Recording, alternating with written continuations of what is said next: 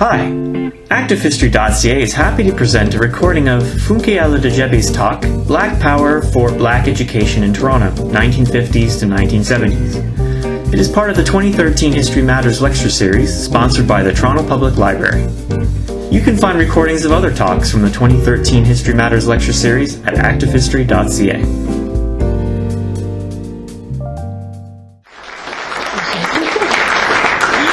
Uh, thank you so much, Jill, for that great introduction. And thank you to the organizers of the History Matters um, lecture series. I really appreciate uh, History Matters, that's uh, activehistory.ca, and also York University, as well as, as well as um, all of my colleagues that are here today who are coming to talk to me. I guess I should stand up because it's, I'm in this weird space and I, I I tend not, I didn't want to stand up, Professor Johnson, because I'm going to be hunching over.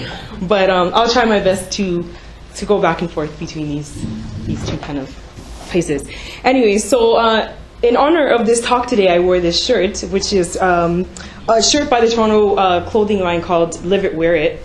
And I thought this uh, shirt was really important or spoke to kind of this discussion today because even though um, this shirt and this clothing line um, is created by kind of a Toronto based organization, they speak specifically to uh, the 1968 Olympic um, games in which Tommie Smith as well as John Carlos kind of saluted um, the, and using kind of this black power ideology and iconography. And so I think it's interesting that this Toronto based t shirt company uses this to um, speak to kind of this cross border um, discussion about black power and what it meant for black consciousness in the Canadian um, atmosphere. And so today my discussion hopes to do just that, is to look at the ways in which Torontonians and black Canadians organized around um, black power rhetoric uh, through educational programs to unify kind of its diverging black population. And today I define black power as an extension of the civil rights movement that began in the 1950s, um, but also that emphasized racial pride and social equality through the creation of political and social programs throughout uh, North America. I also define African Canadian to Canadians to look at Canada's diverse black populations that came into Toronto during this time period specifically looking at uh, Canadian-born blacks, West Indian or Caribbean-born blacks, American as well as African migrants that were coming into the area during this time period. And so um, during this time period, Canada is really starting to um, pilot itself on an international stage, uh, promoting itself as a peacekeeping nation and one in where um, it was anti-racist, right? And so for a long time, while it had long had a black pre presence during this time period, um, it was really starting to look at itself or appropriate this discussion of it being a Canaan land, right? A place in which, you know, enslaved blacks came into Canada and obtained their freedom in the Great White North and equality. However, Canada's growing black population was really beginning to question and um, question the ways in which um, Canada had promoted these citizenship rights and really starting to say that essentially, hey, we aren't getting these rights and we're going to start to advocate for them. And they largely did this around um, black power, using black power rhetoric and also African Canadian um, education, educational and cultural programs throughout the city to do it. And so I hope to discuss Toronto today as a case study, really to highlight uh, a, a, unique brand of radicalism that starts to happen in post World War II Toronto um, that speaks to specific issues of this area. And so my presentation today will cover three main, um, three main areas.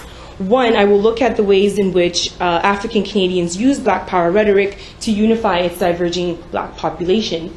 Secondly, I hope to look at how black organizations based in Toronto used education as a political and at times radical tool um, to combat racial injustice. And finally, I hope to discuss the challenges that we're facing these African Canadian communities in their quest for racial equality. And so, as I said earlier, Canada had long had a black presence since the early 17th century. Um, but at the time, it remained relatively small, with Africans, Canadians, or African descended peoples in kind of a relatively small number, number and having and remaining in small pockets throughout um, the country. However, and so as a result, kind of black immigration during this time period was, uh, before 1961, was actually only comprised of 1.52% of uh, the immigrant population at the time, largely because of uh, restrictive immigration programs that gave preferential treatment to European migrants and excluded uh, racialized bodies at the time. However, in 1961, with the implementation, uh, sorry, in 1967, with the implementation of the point system, migrants now were being evaluated based on age, occupational skill, uh, as well as education. And as a result, there was a huge influx in the skilled and professional black populations that were coming from areas like Africa and um, uh, the Caribbean, more specifically. And so between the years of 1961 and 1967, uh, Canada's black immigrant population had more than doubled to about 12.67%, with black migrants coming to areas like Montreal, Toronto, and Halifax. So they largely gravitated to these urban centers uh, uh, where they obviously had connections and felt at home, I guess. Um, And so uh, I, the black population at the time did not only just increase kind of broadly across the provinces, it also increased dramatically in Canadian educational institutions. More specifically, in the post-secondary sector, uh, Canada had seen like a huge influx in the black migrants that were entering these uh, universities. So prior to in the year of 1955, for example, the West Indian population in Canada had only comprised of about 450 students throughout their various universities. By 1965, this number had more than doubled to about uh, 4,000 um, stu students coming into educational institutions throughout the area. And uh, these student populations tended to gravitate to various universities such as McGill, Queen's, Sir George Williams, Mount Allison, and Dalhousie universities. And at these universities, they also created various uh, institutions or cultural institutions that spoke to their specific needs as African descended peoples. The Black Students Union at the University of Toronto and the Black People's Movement at York University were two such examples of these organizations that were created during this time period. And it's also important to note that a lot of the migrants that were coming or immigrants that were coming into these Canadian institutions were largely coming from areas that had recently been involved in anti-colonialist struggles or liberation and independence movements in their um, birth homes. So I'm talking about Ghana in 1957, Nigeria in 1960, Trinidad and Tobago and Jamaica in 1962, and Barbados in 1966. So because of this kind of um, consciousness and involvement in the liberation movements of their birth home, they came with an acute awareness of how to organize and mobilize in Canada.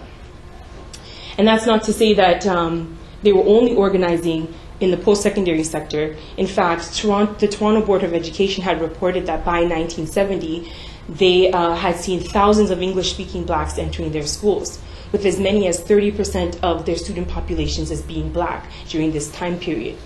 So really, uh, Canada had to be kind of wake up to its increasing racialized presence, more specifically, its mobile, younger, um, more educated, more skilled, and more vocal presence at the time period. And so in 1968, uh, Sidney Williams, who was a consultant, uh, released a brief um, highlighting whether or not he believed that there was going to be a Black Power movement um, in Canada.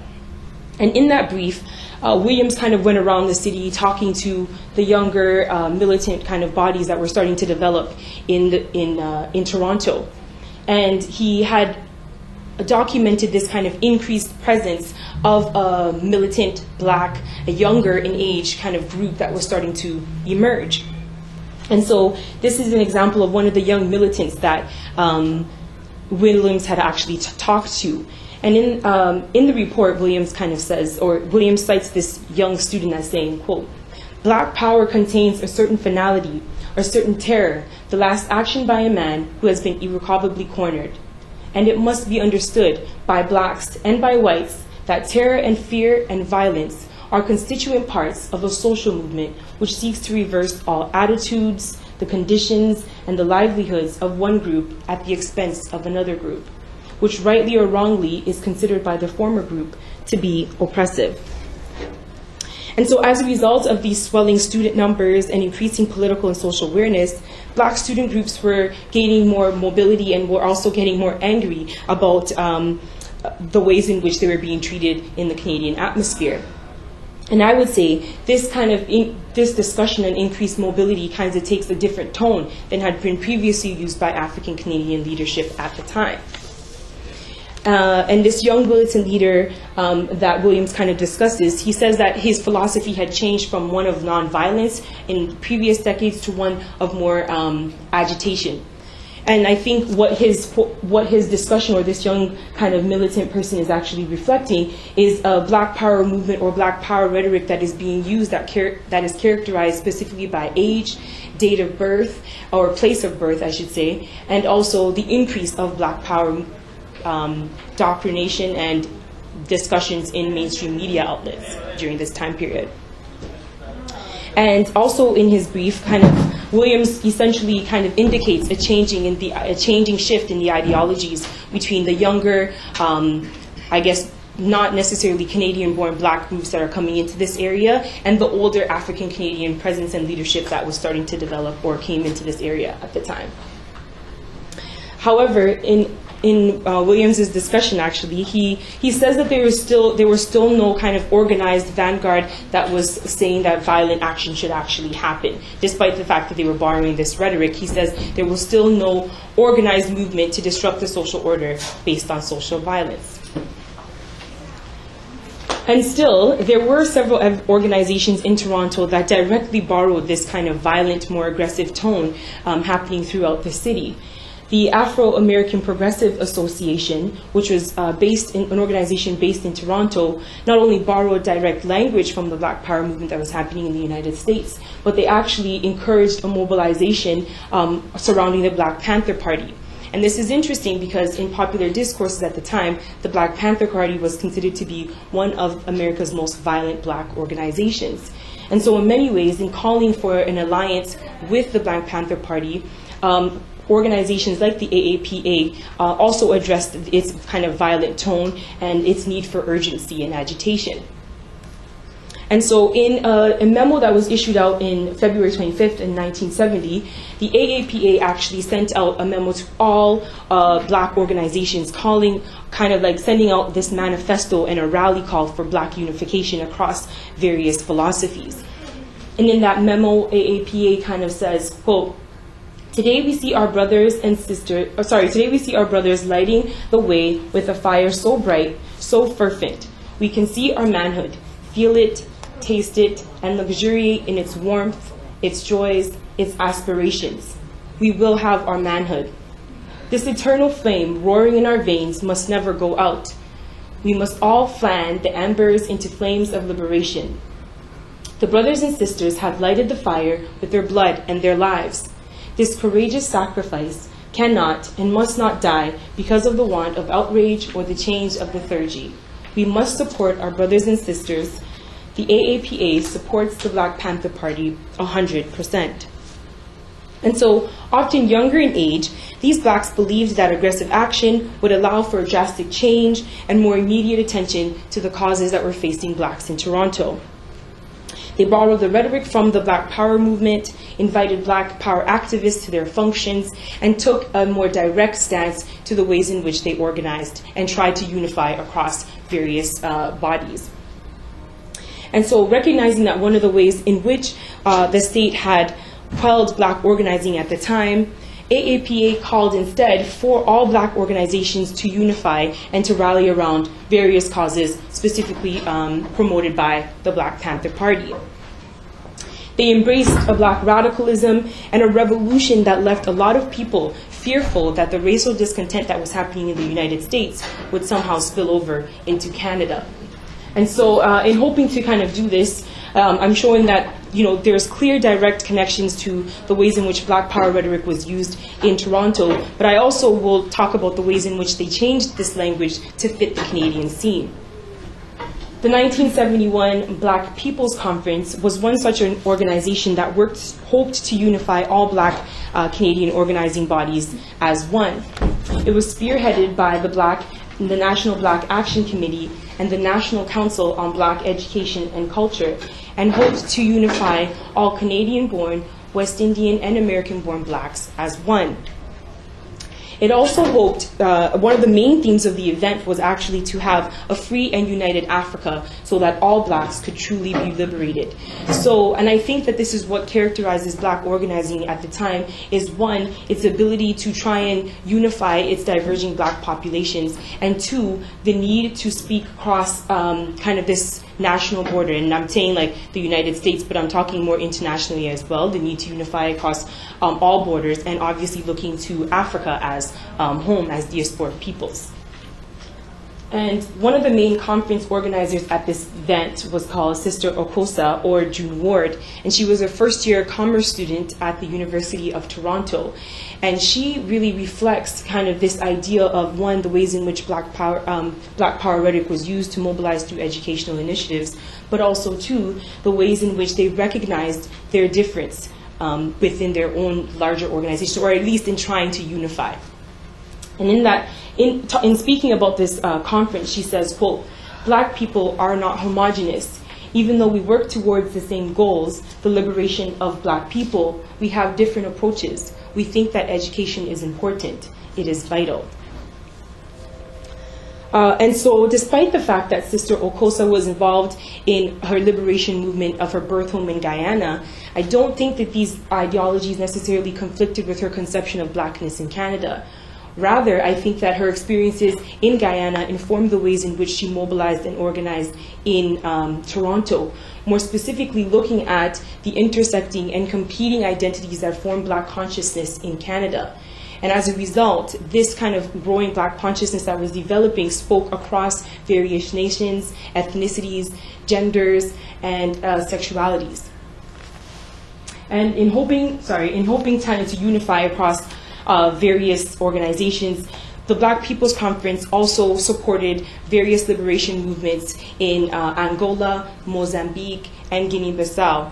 And they also worked more specifically to organize within their own local environments, right? So uh, at the time, around 200, over 200 delegates had attended the Black People's Conference, um, which was really wide, and they had spanned various provinces and everything.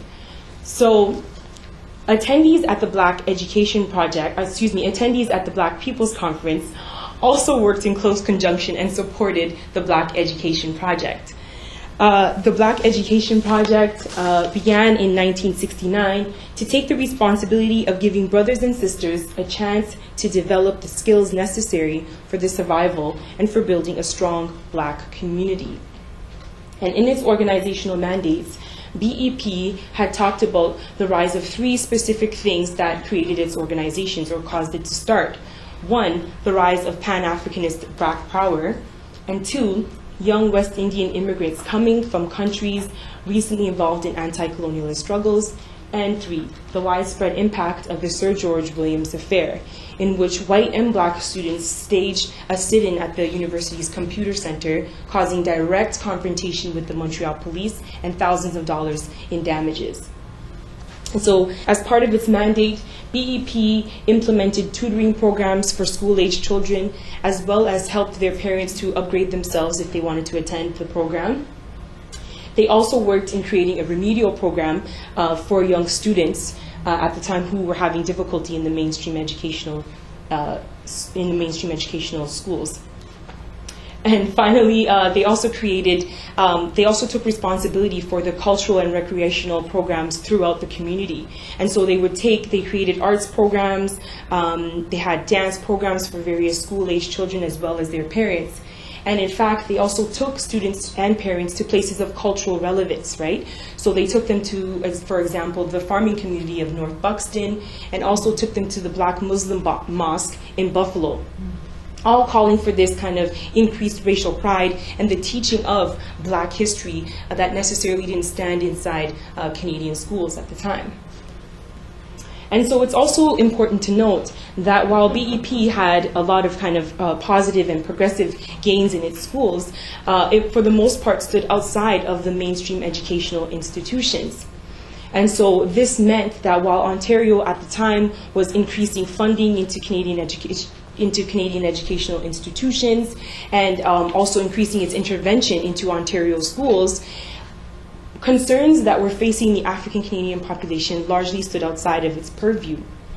And so as a result, uh, main concerns facing the black community, such as the teaching of black history in schools and also the streaming of African Canadian students into vocational programs, stood outside of educational mandates, right? And this really becomes important to the ways in which we understand the issues that might be facing African Canadian students today. We can talk about that later if you want. Anyway, so I think this is a really interesting comic, kind of discussing the ways in which um, African Canadian students were left disadvantaged through the streaming of uh, racialized students at the time. And so, uh, as part of this kind of uh, goal to unify uh, various black organizers and um, educational programs, uh, BEP also worked in close conjunction with the Thorncliffe Park School. The Thorncliffe Park School opened its doors in June 20th, 1970, and was run by the Black Heritage Association and catered to nearly 100 students. The school met on alternative Saturdays at a church hall of Chapel in the Park in the Thorncliffe Park area. Um, and at the time, the school had two main mandates. Uh, one was to teach black history, and two was to instill racial pride amongst uh, the African Canadian population.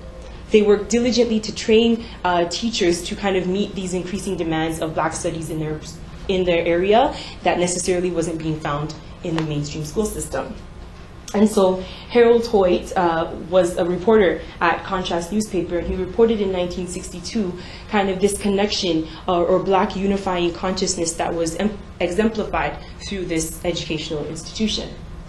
And he says, quote, the art classes have an African bend Children draw black images. They create in their own minds a self awareness, a self pride that is not encouraged in the main education system. The result will be a generation of blacks who will demand respect based on their own pride and dignity as a people of tremendous capacity and achievement. And so it's important to kind of um, highlight the ways in which the Thorncliffe Park School and BEP were really trying to create and foster this teaching of black history and also acknowledge the black presence in Canada in not, I would say, in different ways than was being done before because they still remained very closely connected and um, maintained strong alliances to liberation movements uh, globally. And so uh, it's also important to note that um, the organizers at Thorncliffe Park School wanted to emphasize, especially in this news report, that uh, the school was not a breeding ground for racial hatred, um, but rather to discuss the black presence throughout history.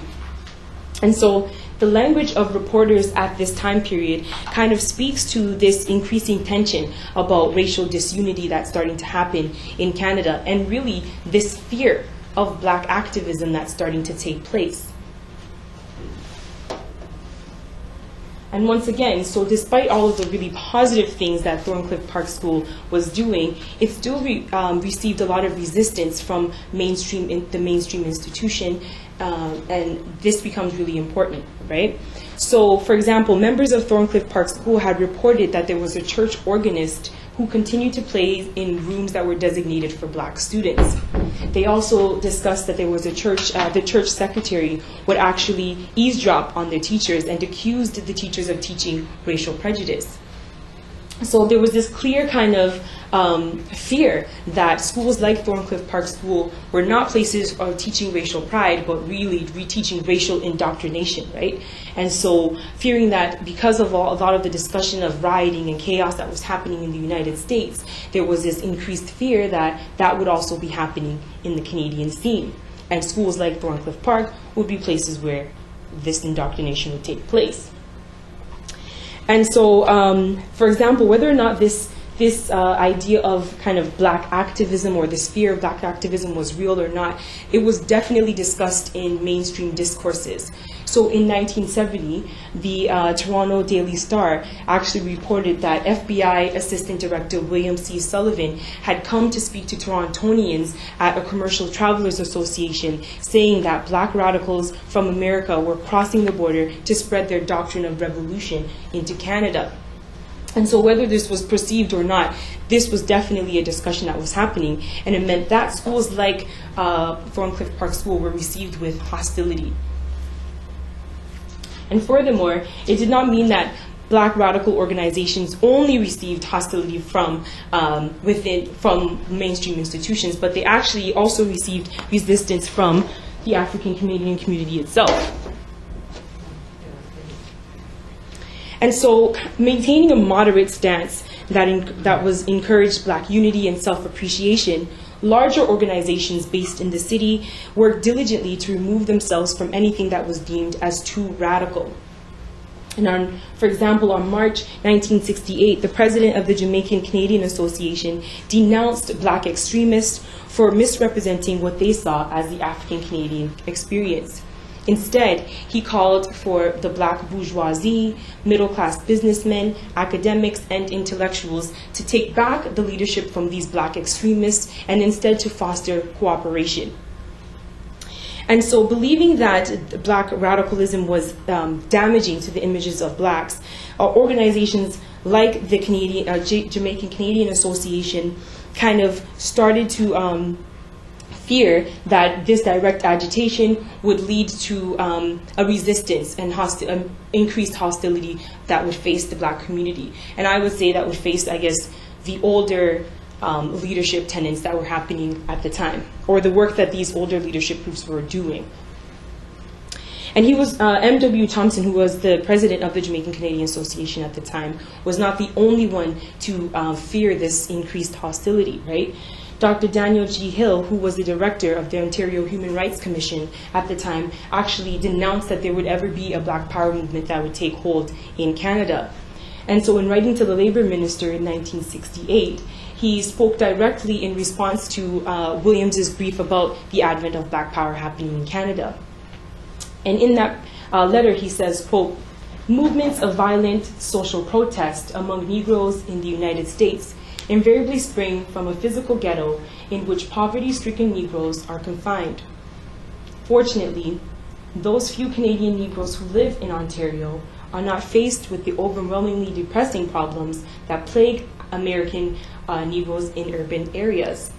I seriously doubt that given the same population of Ontario Negroes and the different social climate that exists here, that a serious black power movement could take hold.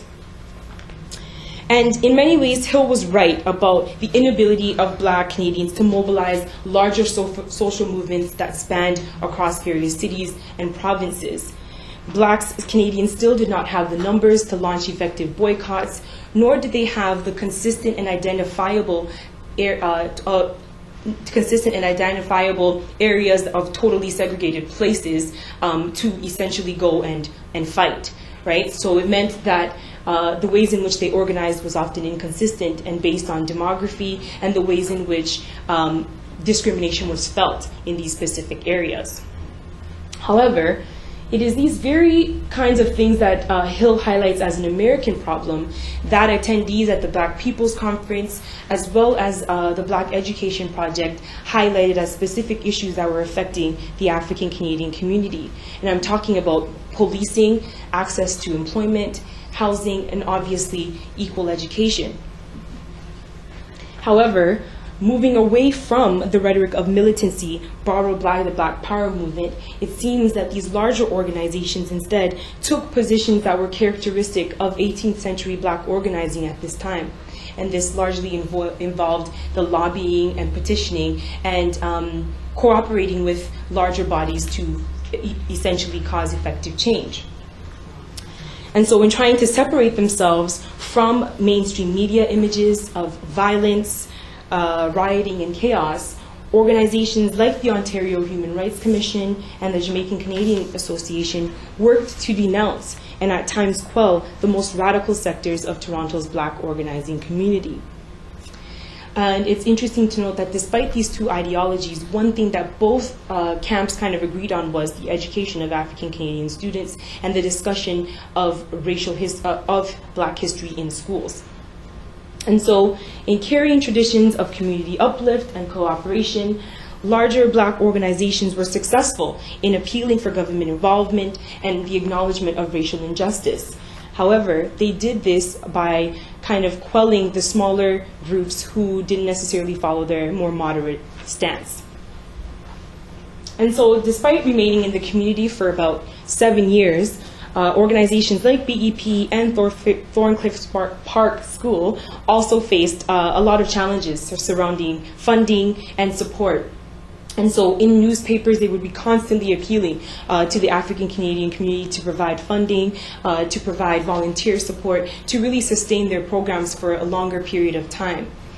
Uh, BEP even reported that even a, a year after it was um, already in operation, they, they couldn't access adequate telephones, didn't have enough textbooks for their students, and didn't even have enough facilities to essentially eat so it really was um, a difficult kind of time for these organizations, and I think it also reflects the challenges that we're facing the black community itself and their inability to really uh, help support these systems because of the systemic discrimination that's very much in place at the time. Um, and so, uh, in trying to kind of sustain their programs and expand, uh, organizations like BEP apply, apply to states uh, for funds. And for example, in 1973, BEP actually received a $10,000 grant from the Secretary of State of Multiculturalism.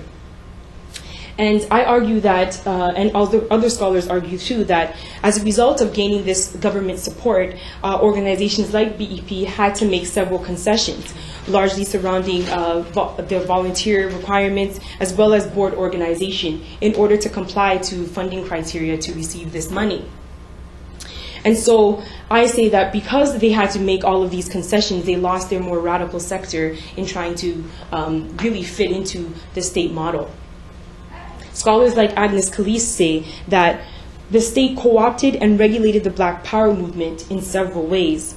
For example, through an appeasement policy of multiculturalism and by funding some African Canadian organizing, the state initiatives worked against the continuation of self supporting militant African Canadian organizations by sidetracking their energies and stifling protest. And so, in hoping to forge alliances with one another, these programs did, however, recognize the importance of Pan Africanism and Black radicalism during this time period. They adopted but also changed the language of the Black Power movement in relation to the Canadian context. In hopes of being viewed as less militant and less threatening, some of these organizations tried to emphasize a, a non aggressive form of racial pride. It seemed that the goal was not to take equality by force, but to unify African Canadians in such a way that they could no longer be ignored. And so black radicalism differed in Toronto from its ability to recognize and acknowledge its diverging black population, but also in its inability to foster a large scale social uh, movement, um, but rather worked in conjunction with smaller social kind of uh, organizations that worked to tackle racial injustice that was specific to the city. The need to tell this story speaks to the words of uh, black militant Rocky Jones, and he was considered to be the Stokely Carmichael of Canada. But what he says, I think, really resonates with the experiences and connections of education and African Canadian organizing at the time. And he says, We've got a school system that says nothing about us, or to us, or for us. That is killing us. If this continues, where will we be? We will be without a people. We will be exterminated. And that's it. Thank you so much. You've been listening to a recording of Funke Aladejebi's talk, Black Power for Black Education in Toronto, 1950s to 1970s. It is part of the 2013 History Matters lecture series sponsored by the Toronto Public Library. You can find recordings of other talks from the 2013 History Matters lecture series at activehistory.ca.